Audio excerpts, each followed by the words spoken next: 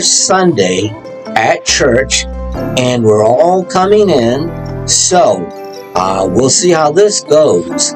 Um, Calvin and Adela Ray didn't have a good week last week because they had to wait in order to play uh, their Madden football game because they weren't being kind to each other. So, um, let's see what's going to happen. And I'm going to go to their, their house uh, later on. And I keep saying, ah, ah, ah. Well, I don't mean to, but it's okay. Now, I'm going to go to their house later. Visit them. Yeah, this is Calvin. All I have to do today is church, and I just have to sit here and pay attention to the youth pastor. Then, um, not headbutt my cousin, and, um, I just have to just be polite and respectful in church, and that way I get to. Oh, here he comes now. This is a Delaray. Yeah, all we have to do is sit here and cooperate, and we can go back and play Madden. So that's what we're going to do.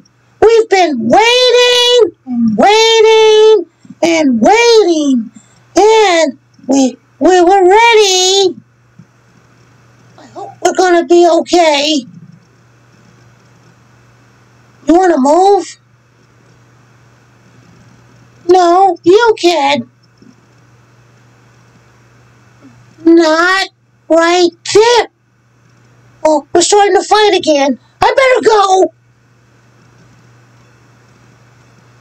Yeah, he's a smart guy.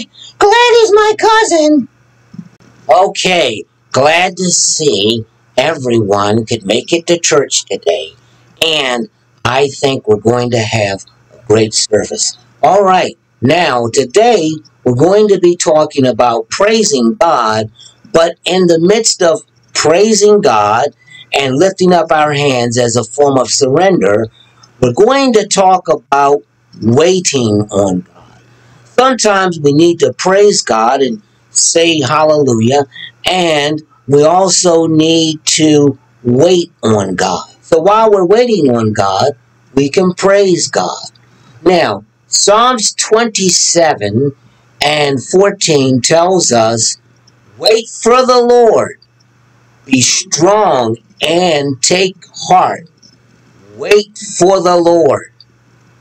Now, to wait it means to have hope. We never give up believing that God will answer our prayers.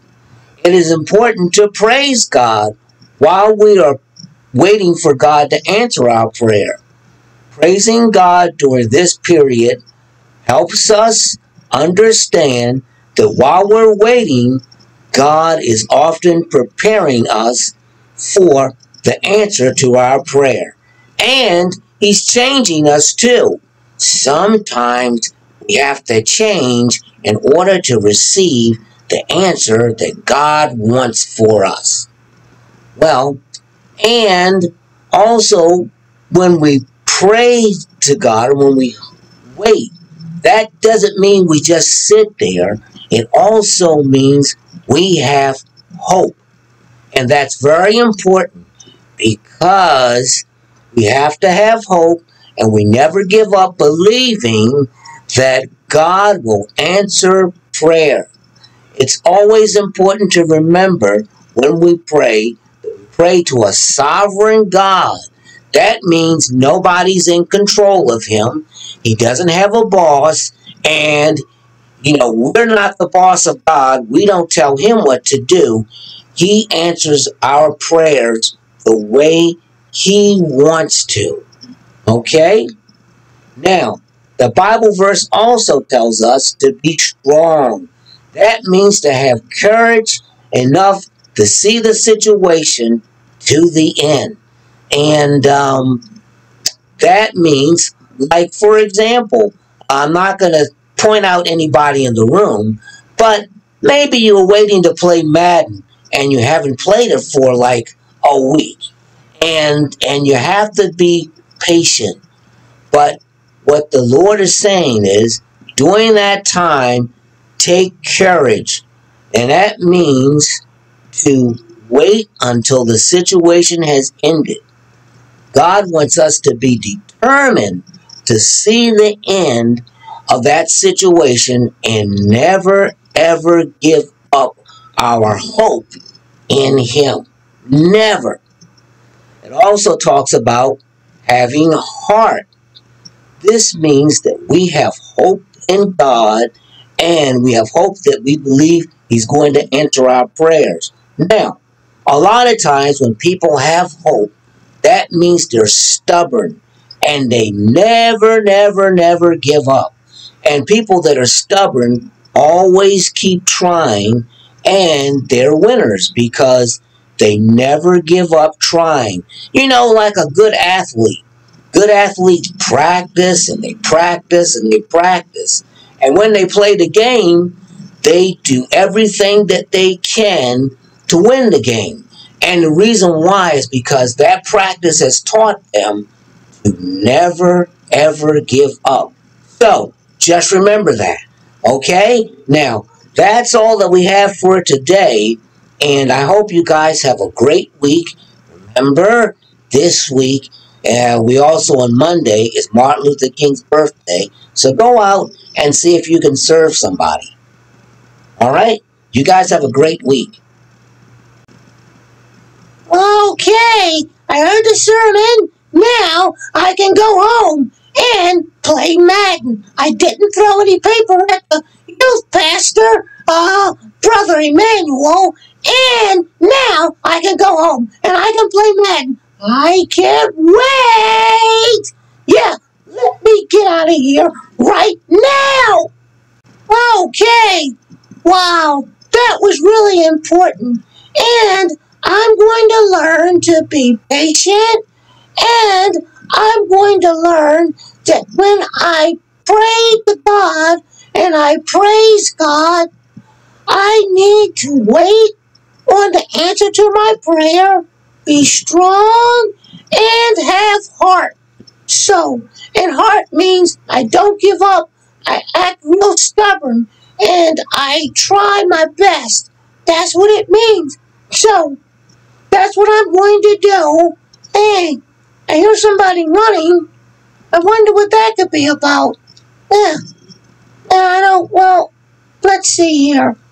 Well, I wonder what Adelaray learned from it all, because that's my cousin, and I, oh, I see him running over here. Oh!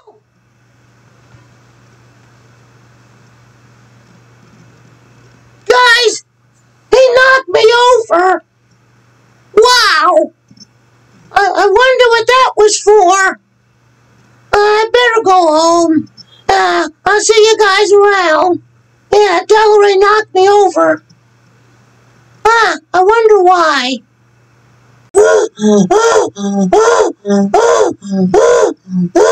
I just ran home from church. I'm out of breath. I have to. I didn't even wear my. I left my coat at church, and it's cold outside. I don't care. I'm gonna play Madden. I can't wait. I didn't throw paper. I wasn't disrespectful. Uh, I gotta get some rest. Uh, boy, this is gonna be fun. Hey, hey, how you doing, Uncle Calvin? Oh boy, let me get into the game room first and play Madden. Oh, okay. Now, Adelaray hasn't even tried to figure out how I got home from church before he did. That's because he tripped over Calvin because he was running out of church to play the Madden game. Well, Delaware, we're just not quite there yet, but you are getting there. You did show some respect to Brother Emmanuel, and you didn't throw paper, but we have a few more things to work on. So, uh, Adela Ray. Just for a few hours. You'll have to wait before you can play the Madden game. I want you to be strong and take courage that, well, at the end of the process, you'll be able to play and have heart, be determined to see everything through. So, that's what's going to go on today because you were very impatient and you knocked over your brother, your Cal, your cousin. I said almost said your brother, but your cousin Calvin.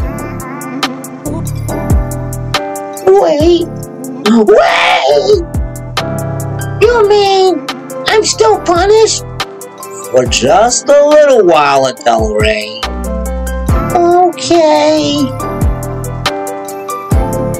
That stinks. You'll learn. You guys have a great week and remember, Martin Luther King's birthday is this Monday. Have a great time, everybody.